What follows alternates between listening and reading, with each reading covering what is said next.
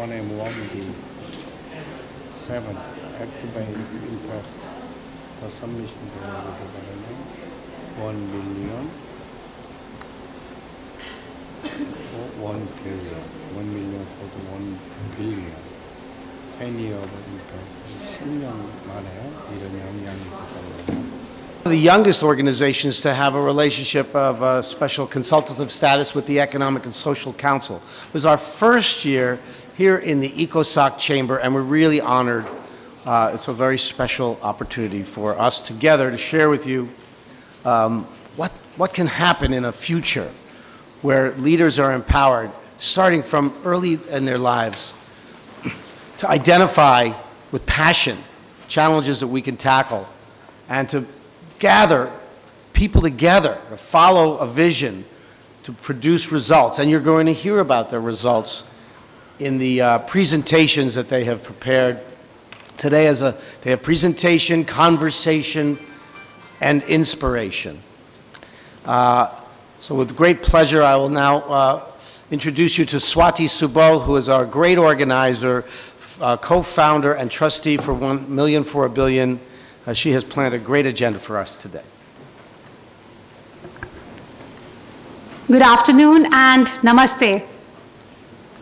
Can I hear a namaste from? Namaste. namaste. So wonderful to have all of you here and uh, especially our uh, special guest uh, uh today afternoon, uh, Amb Ambassador Madam uh, Ruchira Kamboj, Mr. Maher Nasser, Mr.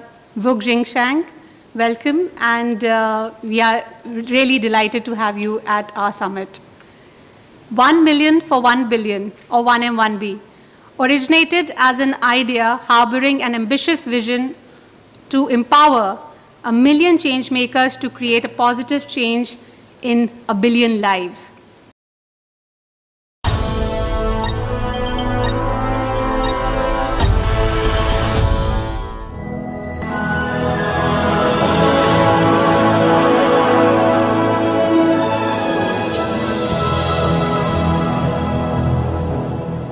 Peace TV reporters have been active at the UN headquarters since 2010, the age of former UN Secretary General Ban Ki moon.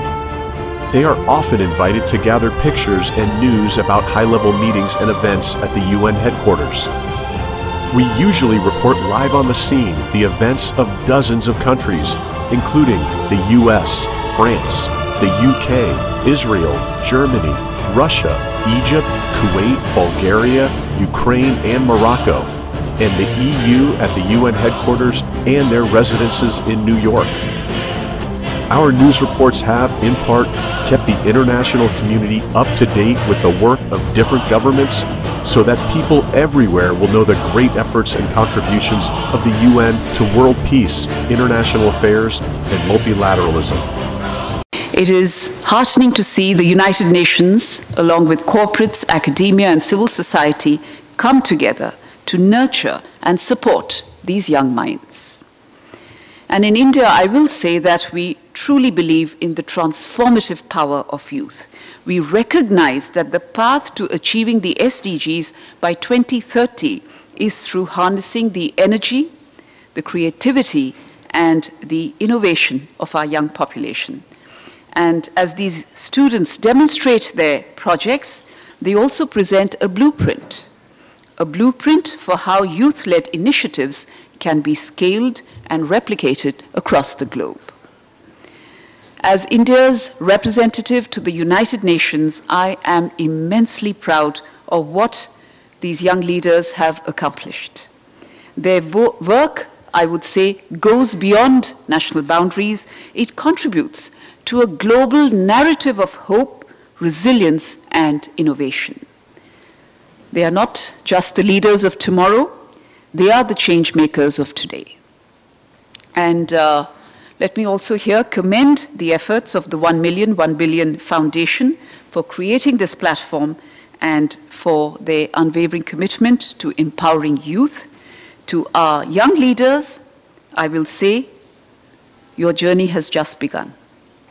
Continue to inspire, innovate, and lead.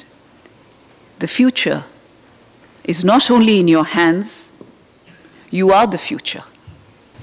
M1B was created was creating a roadmap for achieving just that. Overcoming differences, overcoming challenges, world leaders came together to tell us how we can reach 2030. An agenda that will create a world in which there is no poverty, or at least no extreme poverty, nobody goes hungry, education is available for everybody around the world, gender equality, we have less inequality, we are dealing and tackling all of the other issues and challenges that we're facing. And much has been done, but we are not on track. And I think this is why it's important when generation like yours, innovators, young people in India, but also elsewhere in the world, come together to address those challenges and see how technology can actually help us meet those challenges. According to the Secretary General's report from July of this year, we are only 15% of where we need to be in achieving the SDGs by 2030. That looks like a mighty challenge. We can either feel pessimistic and saying we're never going to achieve the SDGs, or we can borrow from a sport and football analogy. No game in sport is ever lost in the first half. You could be down five goals, 10 goals in the first half, but in the halftime, the players meet with the coach, and the coach gives them encouraging remarks, and this is what happened this year in the SDG Summit in September. World leaders were reminded of the promises they made in 2015 and of the fact that we have seven years left to achieve the SDGs. And we have to double the effort, we have to double the energy to actually get us to where we need to be. Now, we know that the world was impacted by COVID, by the pandemic. That has set us back. It has also been impacted by conflicts. Dr. Swati and some of the students, as well as the, um, uh, of the teachers, who came all the way from India. Welcome to the United Nations. It has been a long journey for you to come here, and it must be really tiring uh, because it's um, past the midnight in Indian time. But I can see uh, the fresh eyes of the uh, and uh, um, they got present to what their purpose is. They've got present to what their career goals look like with humanity at the center of it. They are human-centric leaders that I'm so proud of. This panel, which is all about community and inclusivity. Each of the change makers that are about to present to you have done projects along the lines of community and inclusivity. And I hope that you're impressed with the work that these young leaders have done in furthering the cause of the SDGs. I'm going to ask each of them in turn to introduce themselves and their work, um, and we'll just go straight down the line. Go ahead.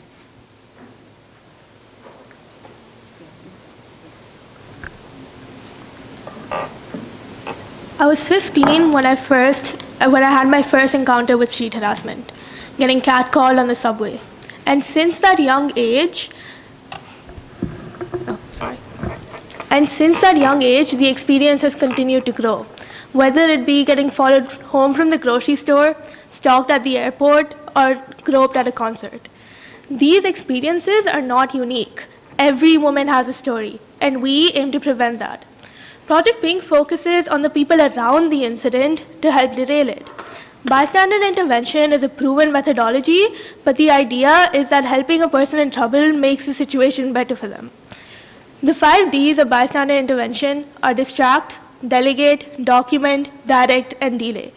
We My cousin was only four years old when she was sexually abused by her 50 year old neighbor. And thus, Ohana Naikrish started the project Save Little Hearts, which aims to create awareness on child sexual abuse by educating underprivileged children on safe touch, unsafe touch, and response systems. We've educated over 150 children um, in collaboration with the Rotary Club and other NGOs across Bangalore. We've also linked um, a psychologist with a few government schools to visit them on a quarterly basis and reiterate the safety guidelines.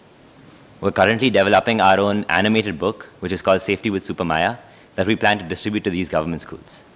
The silence surrounding child sexual abuse is deafening. Many victims suffer in shame and fear, unaware that they're not alone. So join us in breaking the silence and creating a world where children feel safe, supported, and empowered. Thank you.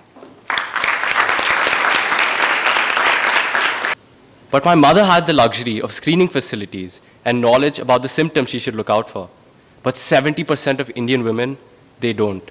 And when they hear these words, when their children hear these words, the situation is far, far darker. Project Sirona was created with one purpose, to bridge the gap in cancer screening and cancer care that is so apparent today. To Future leaders and a student of our Purpose Academy and the work that she has been doing, and this story is from the eyes of the award-winning Cannes uh, filmmaker Amit Madheshiya. One of the big things that we are trying to do is how do we make change making go mainstream? How can we inspire millions and millions of young people to go beyond themselves and take actions for their community? And in that endeavor, here is the first short documentary that we would like to present to you. So um, currently, we live in a world where 9 out of 10 lives could be saved by performing CPR during a cardiac arrest um, 4 to 5 million deaths occur each year because of cardiac arrests. And I feel like to reach the UN SDG goals by 2030, we need everybody, every single person, every single youth to recognize their capabilities, to recognize their power, and everybody has power instilled within them. And they have to take this to another level. They have to combine their passion with their project? As we all know, the future in the 21st century is all about the digital revolution. But there are millions of people who don't have access to digital skills, have never written an email, or have never even turned on a computer. And a big part of what we want to accomplish through our Digital Nagrik program is to reach those people and tell them a little bit about how to behave online, what it means to be a digital citizen. When I came here a year ago, we had just introduced our digital citizenship curriculum, and uh, a lot has happened in the last year, and so I'd like to start with a short film to show all the events that have happened over the last year in our digital citizenship.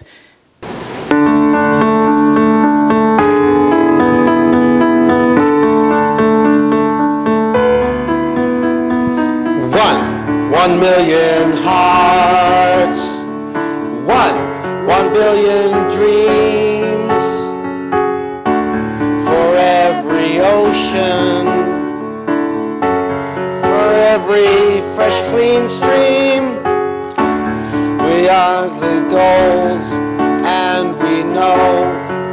future's bright. We know together we will all see the light. Our world is beautiful. Let's give it all our love. Men and women equally. Living with clean energy.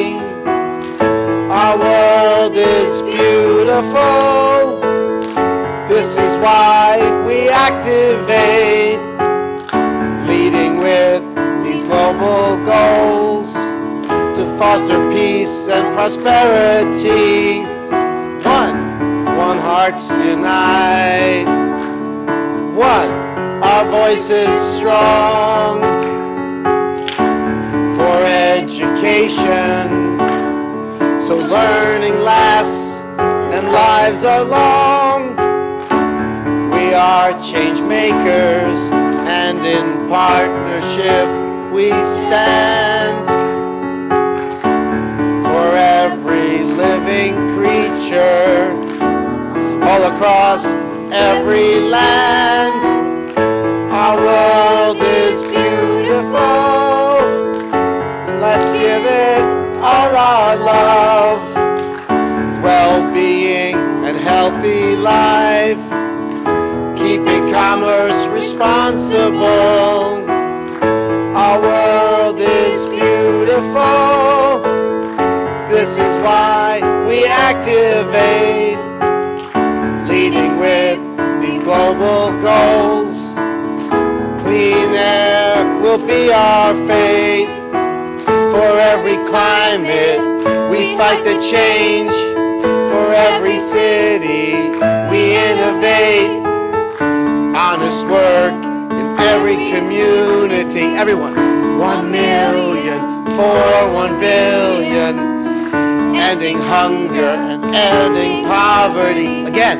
One million for one billion. Our world is beautiful. Let's give it all our love.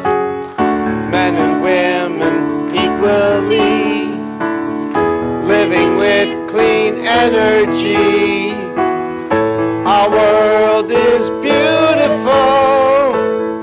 We inspire each other. Working for our global goals unity, we all rise above, rise above all.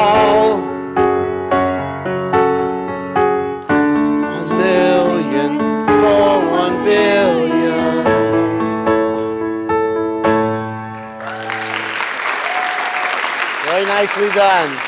Good work, singers. Thank you very much. problems and help the tribals to preserve their culture while not compromising on their rights. It comprises of two parts. The first being fundamental rights through health camps, government IDs, and sales of tribal handicrafts, etc. And the other of cultural preservation through awareness sessions and documentation of the cultures. So far, we've impacted 3,000 people directly and 9,000 people indirectly, and we've enrolled 1,200 people for Aadhaar cards. It is essential that we secure the rights as the tribal people are the heritage of humankind. Thank you. Project Chaplain by. The WHO says that every one in five teenagers has a diagnosable mental health disorder, but only 50% get the help they need. To put this in perspective, that eight of us future leaders, but four may never recognize this. The fact that these future leaders today, today will set us on course toward the